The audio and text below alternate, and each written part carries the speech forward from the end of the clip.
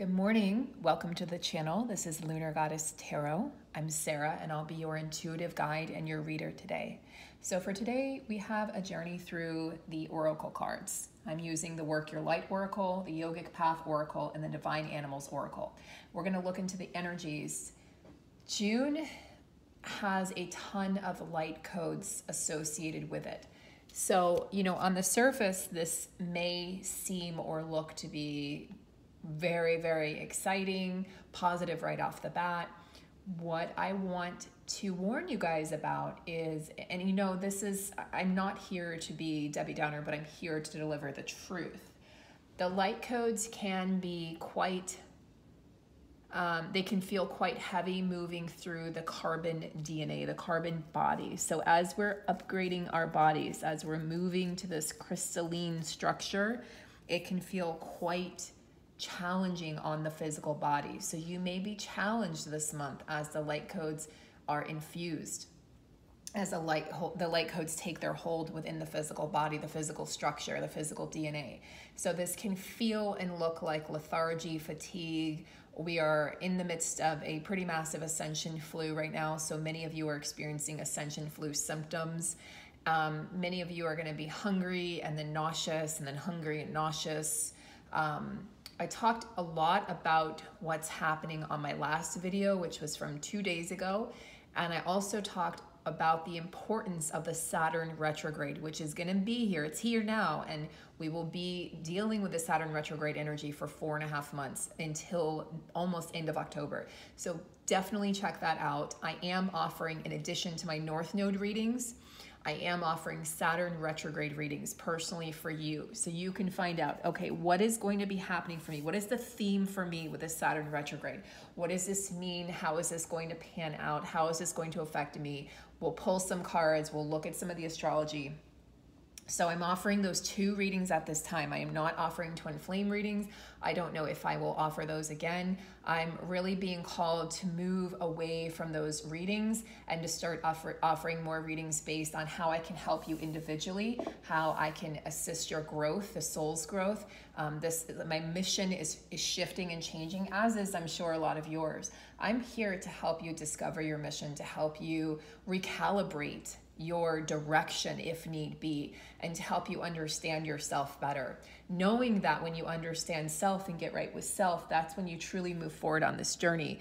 Um, the feminine is really being guided to move forward, not look back, while the masculine continues to deal with some some residual anger, some fears in leaving and exiting the matrix. Um, I have a lot more to say about that, um, but for now, I want to get into the card portion of the reading if you guys are looking on my website, you will see a description of the North Node readings under the offerings page. You just have to scroll down. However, I don't have the Saturn retrograde readings up there yet, and I probably won't until I get back from vacation.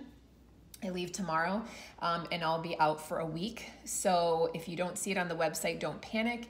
I and also the North Node reading says out of stock. Everything says out of stock on the website. I'm we're moving some things around behind the scenes there on the website and I currently um, cannot accept payments. I'm dealing with a payment processor issue. So if you'd like to book a North Node reading or a Saturn retrograde reading, you'll have to reach out to me and my email is listed below.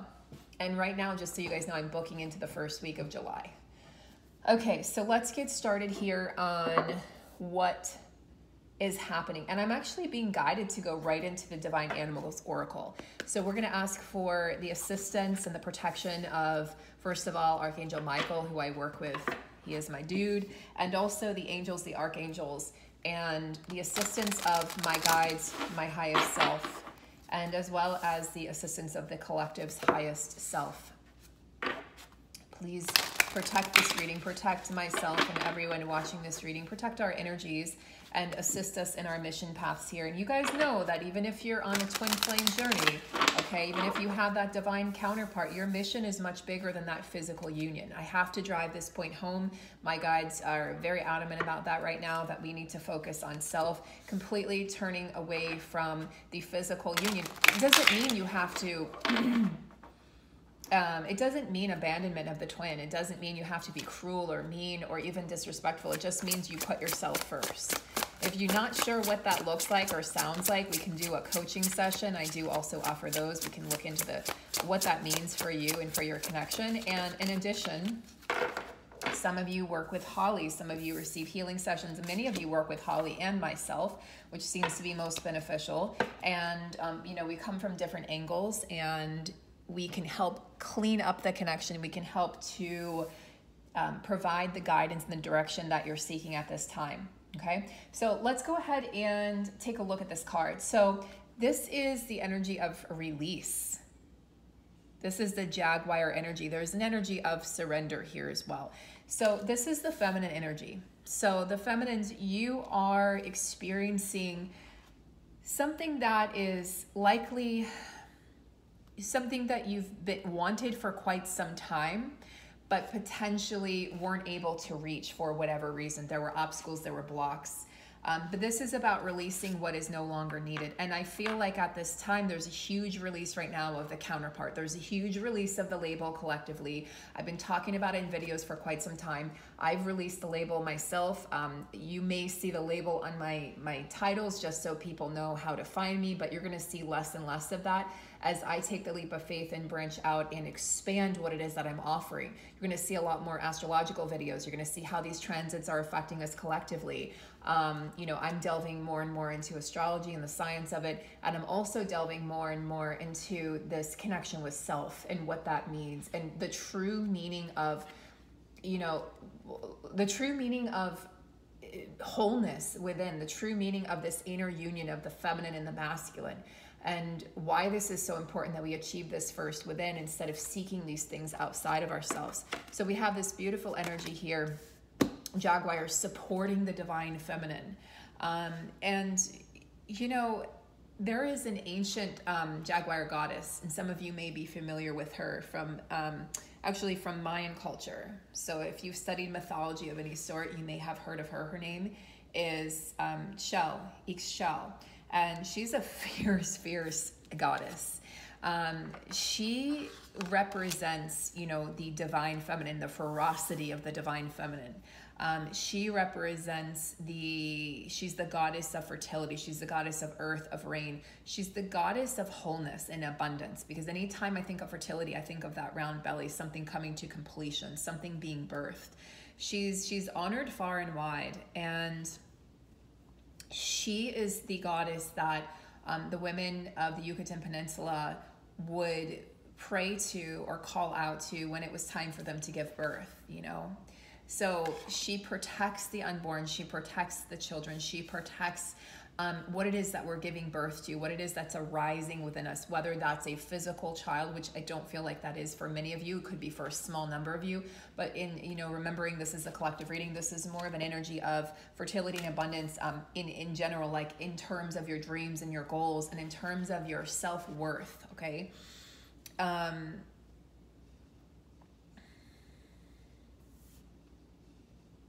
hmm there's a power, an innate power that we sense in Jaguar. She has this ferocity, but also this gentleness, this ability to, you know, she could kill with one pounce, or she could um, take you under her spell, you know, with her her seductive eyes. She she has the propensity to really shift worlds and shift um, paradigms. So even though the Jaguar is extremely powerful, extremely um, uh, majestic, they are also this is why they're associated with both earth and rain. They're they're land mammals, right? They're animals who mostly inhabit the land, but they can also swim.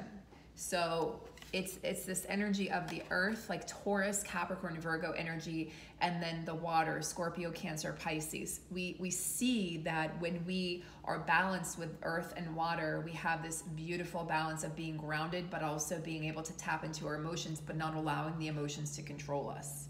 So she's she she can pulverize prey you know like i said she what what's happening right now and the way that i'm seeing this play out in the collective is is the feminine is pulverizing her demons, her her ego. She's pulverizing those things that have constricted her, limited her, kept her kept her at bay from her dreams and her goals, kept her from thinking that she was good enough or beautiful enough or powerful enough to do whatever it is that she wants to do and thinking that she's not supported by the universe. So that's starting to shift for her. Any negative aspects, you know, any negative mindsets are all being washed away. So I would not be surprised if we have some rain, some pretty powerful rains coming through for some of you, depending on where you are in the world.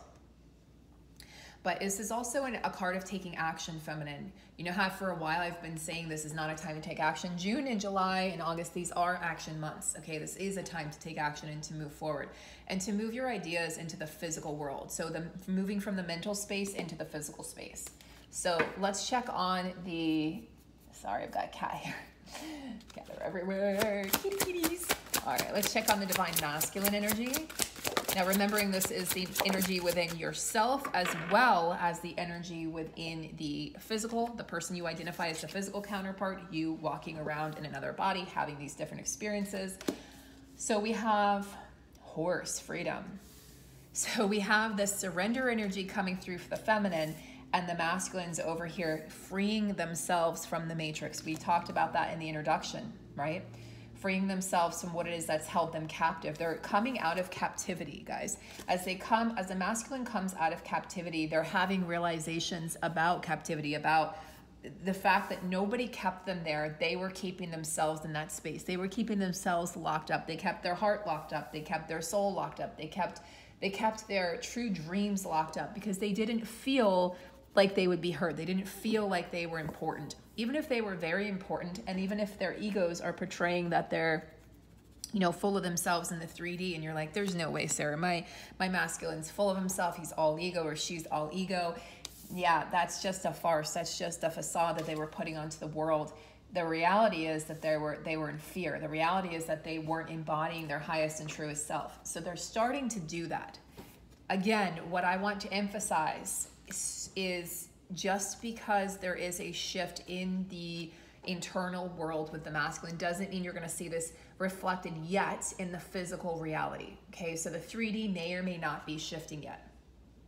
So they're learning to be truly independent from their own beliefs and mindsets, from their own mind. Okay, the negativity of the mind in particular you know, the negativity that says I can never be with my feminine, I'm not good enough. Um, we're just, you know, life is supposed to be hard. Life isn't supposed to be good. We're not supposed to really experience joy. Life is about you work hard and, and then you play hard. And it's like, no, no, no. You don't work hard and then beat yourself up and, um, you know, go drinking or, or you know, destroying or, or engaging these destructive habits, which is what the masculine energy has tended to do. Again, look inside yourself to see how this applies to your inner masculine as well, guys.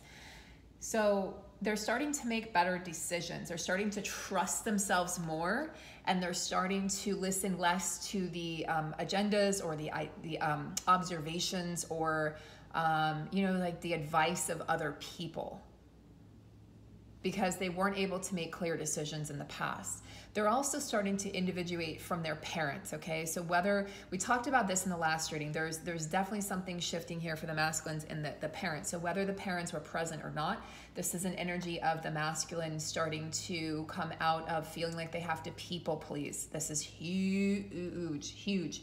Lifetimes upon lifetimes of them feeling beat down mentally, feeling like they have to um, you know abide by the rules feeling like they have to do right by others and then all the whole time doing wrong you know by themselves and, and not truly honoring themselves not truly honoring what it is that they knew that they needed or they wanted okay?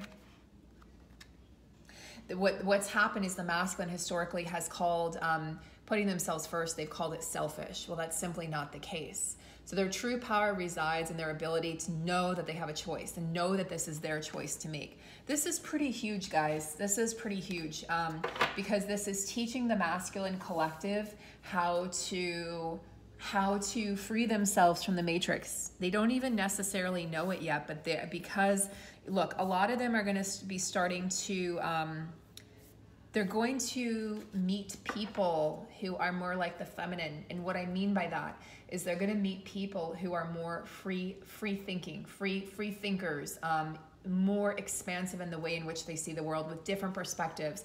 They're going to start to realize, wow, I shunned my feminine or I pushed my feminine away because I thought we were too different. But in reality, they were jealous. They were envious of the way in which the feminine had that mental freedom and was able to truly create her own mindset and not relying on the mindset of society or what society expected. Let me give an example.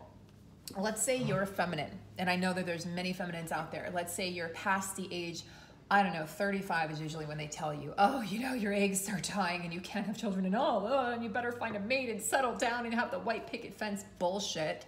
And so many of you did not do that. Many of you pursued career. Many of you pursued self love. Many of you pursued a creative outlet. Many of you did whatever the hell you wanted, frankly. And what that did is they created a wave within your family because the family said, wait a minute, you opened a door, you opened a pathway for healing, for generational healing. You also open a pathway for the feminine collective. You also open the eyes of the masculine collective. You also scared the shit out of them by doing so. But in choosing your own path, in having that freedom, what you've done is you've taught your counterpart how to choose themselves. You've you've chosen yourself the entire time. Maybe not the entire time, but you've chosen yourself for many, many years, many months, however long. And your counterpart is now starting to see wow, you know, I was jealous, I was envious of the way in which my counterpart, my divine feminine, did this, but now I realize that I can also do this. Where they didn't see an outlet before, where they saw a locked door, they're now seeing an open door. So as this as this happens, as that door opens, um, they're going to be peeking their heads around the corner. They are still in a depression energy. They're quite angry and they're quite depressed simultaneously, which is an odd combination um, but not not really too odd if you think about it. And the divine feminine is just continuing to move forward. She's continuing to open new doors for herself. I want to state this. I want to make this clear because some of you will work with me, some of you won't. Those of you who who opt not to or aren't able to, or for whatever reason, it, our paths don't cross, I want you to have this information if your masculine has ghosted you, if your masculine has blocked you, if they've hung up on you, okay? If they have in any way pretended like this isn't special, you don't have a real connection, this doesn't exist, it's all in your head, or they've downplayed your the work that you do in the world or, or the importance um, of the work that you do, or in any way like belittled you, in any way made you feel small, I want you guys to understand A, this was so that you could look within so that you could become even more powerful, even more self aware, have even more self love and self acceptance. It wasn't because they didn't love you, it wasn't to punish you, it was actually to lift you up and to help you grow and ascend. B, that's A. B, they did not do it on purpose. They were they were just like the separation is divinely ordained and divinely orchestrated and divinely timed, so are those comments, so are those physical actions, okay? it's coming from a higher place. They can't even explain to you why they did it. I guarantee. If you ask them, I don't know, I don't know. I just knew that I needed to go this way or do this thing or or like I needed to just not I needed to do what I did at the time and that they don't know why. Okay? So that's C. And then at lastly D, do not take it personally. Do not take it personally. You're actually being protected. If the masculine isn't ready, if they're half baked, do you really really want them in front of you? knowing that that could hinder your progress, knowing that that could hinder the work that you're supposed to do in the world to help, mm, I don't know, tens, hundreds, thousands, millions, billions of other people. Do you really want that being in the way of you reaching your your goal and you stepping into your mission and changing the fucking world? No. So let's get our thoughts straight. Let's get our heads straight and understand that if there's a separation happening, it's a blessing in disguise. Can we turn it around and be grateful for the time that we're being given, the energy that we're being given back? Look, if your masculine was in front of you right now, I'm telling you, you would be drained. I'm seeing it play out in the clients who work with their masculines. You would be drained. You would be on the receiving end of their anger, their depression. You would be blamed. You don't need that divine feminine free yourself as much as possible. And if you're in the path, the destructive path that the masculine's going through right now, Stay out of the way as much as possible. If you work with them, if they're your boss, if they're a colleague, if in some way you have to be around them, find a way to protect yourself. Okay? All right. So let's move on to another deck here. Just got to check the time. Our AC isn't working properly. It's July, it's June in Florida. So that sucks. Um, so we are, we have an AC guy coming out here, um, which is most appreciated. The hottest months are August and September, so let's not get to that point, right? Um, it's like as if the divine feminine didn't have enough to deal with. Let's let's like have her AC not work properly. Cool. Sounds good. Um, okay, so let's go ahead and move on to. I feel like I've been talking for a half an hour. It says 20 minutes. I call bullshit. My guys are like, you talk, you talk so much, Sarah. Oh, if you guys want some comedic relief, go and check out my, I just started a TikTok for fun, strictly for fun. I don't even know really how to use it. I need to learn from my nephews when I see them this week. But it is Sunshine for You 31. That's my TikTok handle. It's super fun. I have videos about the twin flame journey on there, videos about ascension. Um, I did some videos about the JD trial, my boy Johnny. So go ahead and check it out. Again, it's strictly for fun. It's humorous, and I have a really good time doing it one of my passions is comedy and making people laugh. So I am here to spread joy. That's why it's called Sunshine for You. I want to spread joy and sunshine into your life. I'll probably offend some people on the way, but I'm sure I've already done that on the channel. So I'm okay with triggering or offending people because really triggers heal. So obviously, you know, comedy, there's always going to be someone who's um, offended by, by comedy or by your type of comedy, but all in all, it's designed to make you happy and to bring you joy. So go and have a laugh if you want to check it out. I appreciate the, the support. Again, I'm doing it strictly for fun. I don't even know, do people make money on TikTok? I don't even know how to do that. I don't even really know how to do them. I just do a video and then put some filters on there. some music maybe. I really want to learn how to do like the side by side and I really want to learn how to do like a video where there's an animal and I can do an over over voice or whatever voiceover because I'm really funny. I, I really am good with animals, animal voices and so if anyone knows how to do that, feel free to let me know. Give me a shout out, point me in the right Google page because I really want to do those. Okay, anyway, I digress. So we have the energy of Bhakti, we have the energy of Tamas. So pretty, pretty awesome energies, if I do say so myself. So I feel like the energy of Bhakti is referring to, okay, it's the divine feminine. Tapas is the divine masculine, thank you. Okay, so let's take a look at the divine masculine. The divine masculine is in a place of self-discipline. Oh, I'm sorry. I knew that wasn't. No, this is the rest. This is the rest. Hold on. This is the Nayama of rest. Hold on. Um, Interesting. Wait a minute. Okay, hold on. I'm looking in the book because I'm a little bit confused. Um, density, dullness, and inertia. Okay.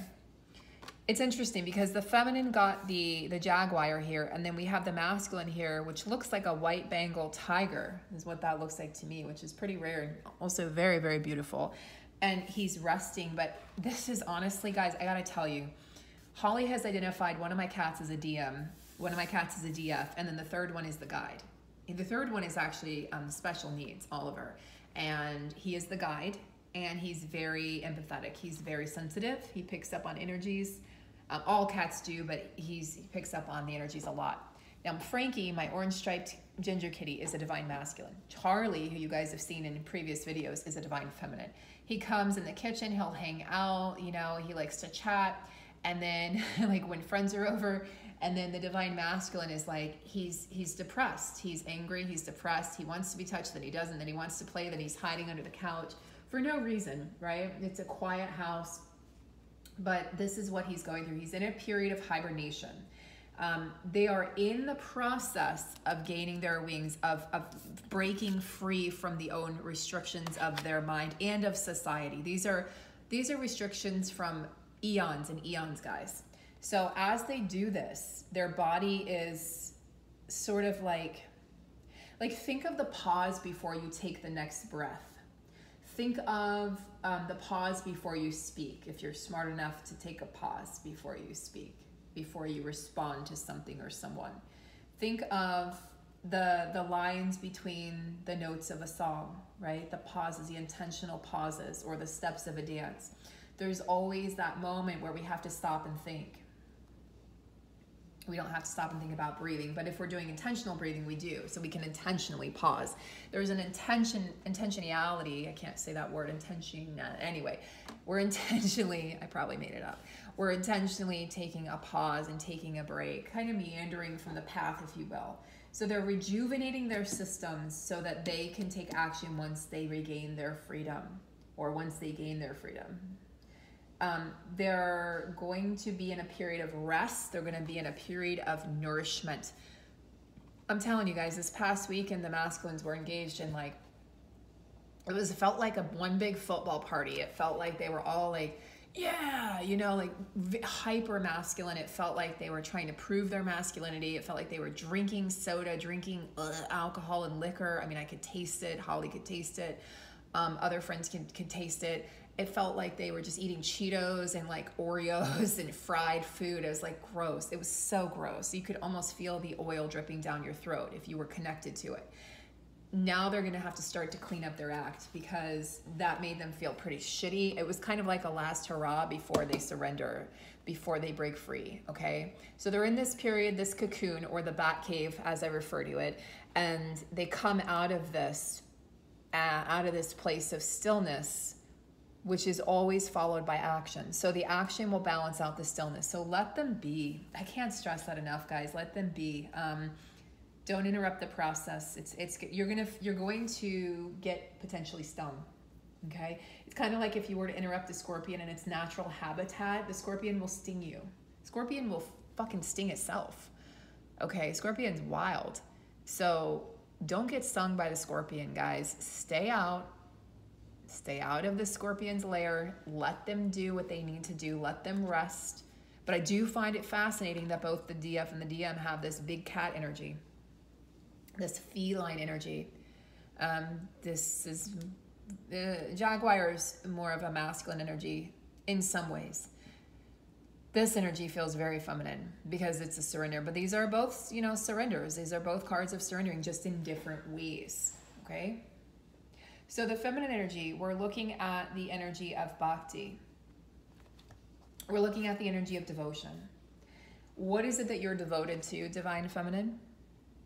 Um, where is it that you could be more devoted to self, devoted to your dreams, to your goals, devoted to others, devoted to your progress, devoted to your passion, devoted to your mission, devoted to your heart song, devoted to your soul's journey? I mean, we could. This goes on and on and on. Where is it that you could be more devoted to family, to friends, devoted to your clients, devoted to your career, devoted to um, the evolution of humanity, devoted to the you know the collective, the ascension journey that we are all on? Where is it that you could be more devoted?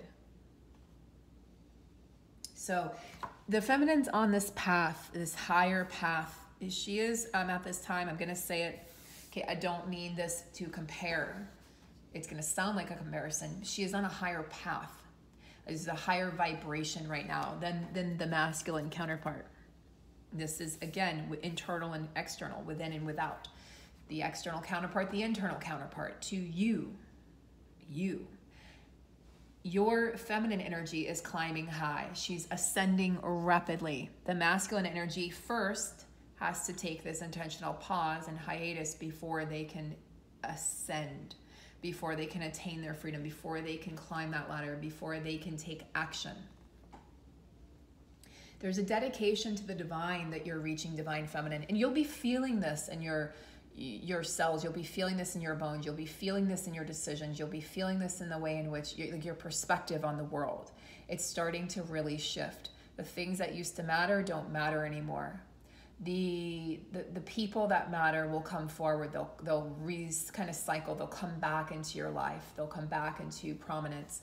The um, beliefs and ideas that maybe you set aside you know for the sake of being a good girl or a good boy or following your parents' um, path or or just trying to do right by others those things are starting to really fall by the wayside as you're taking interest again in the things that really stir your soul.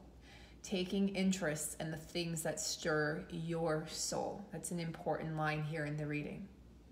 They want me to say it one more time. You're taking an interest in the things that stir your soul. So as your soul, your soul, your soul, as your soul is stirred, what is it that's coming up? Like, what is it that's coming up to the surface to be acknowledged, to be redeemed? Okay. What does divinity mean to you? What is it that you're doing that makes you feel close to the divine?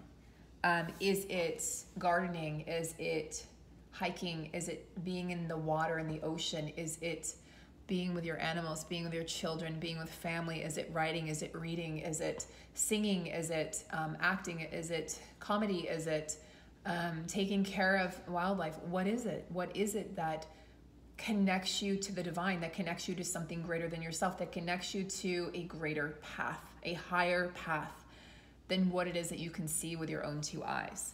This is where the divine feminine is currently. Um, this is where she is currently like taking matters into her own hands, I guess is what they're telling me. Um, your path is really starting to become clear. I wouldn't be surprised if many of you are deviating off a one path going to another path, surprising yourself. The path you thought you'd take, you're taking a different path. I would not be surprised to hear that. Okay?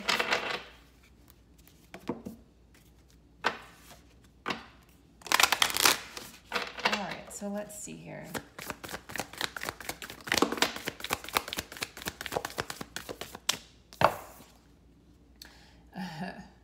wow.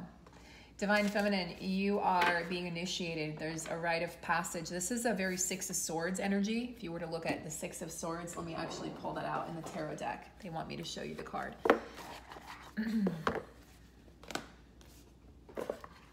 so we look at the Six of Swords. It might take me a minute, so.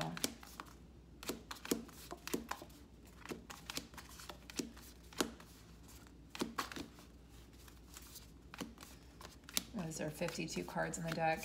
I feel like it's going to be about halfway through.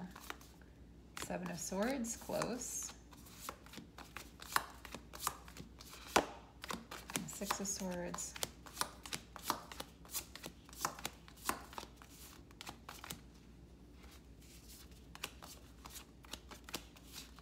Where are you?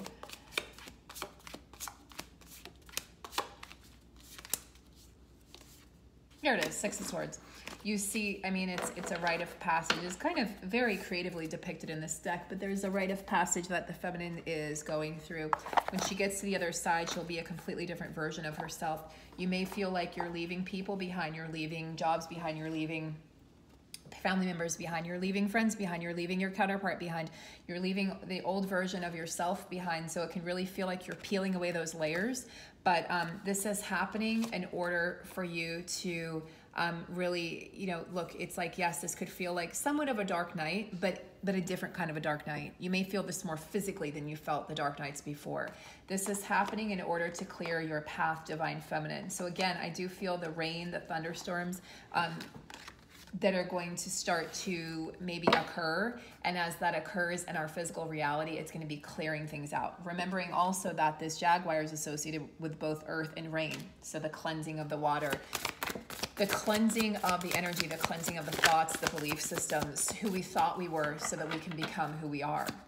You guys are mirroring. There's a mirroring. It's just happening in a different way with the feminine and the masculine.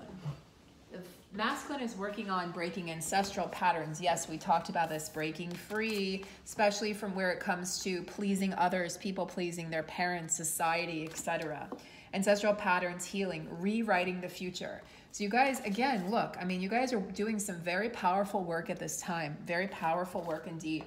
And what this is doing is it's freeing um, future, it's freeing future um, divine counterparts. Um, it's it's starting to clear the path. The the way is going to become clear here for those that are following the first wavers. Um, those of you who are second or third wavers, new on this journey, or just newly understanding this journey, um, you will have an easier time because of the path that's been laid forward by the the OGs, um, by the the first wavers, and we are all we're in the midst of uh, like a turnover okay? We're in the midst of turning the page um, as a humanity as a collective.